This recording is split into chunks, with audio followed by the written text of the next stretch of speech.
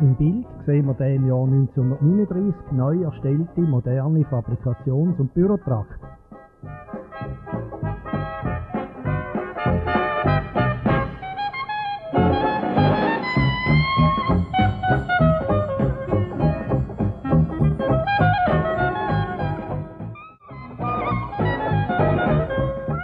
Der König von Rumänien hat total 260 Traktoren vom Typ 4DB85 in Auftrag gegeben.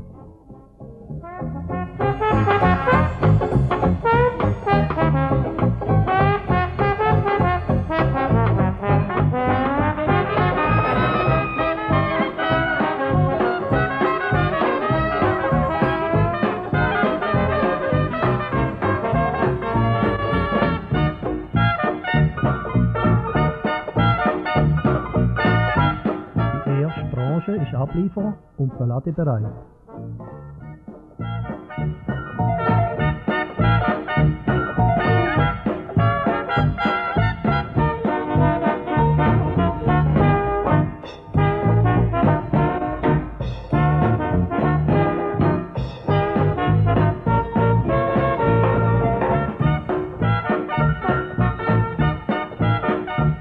Wir befinden uns im Jahr 1941.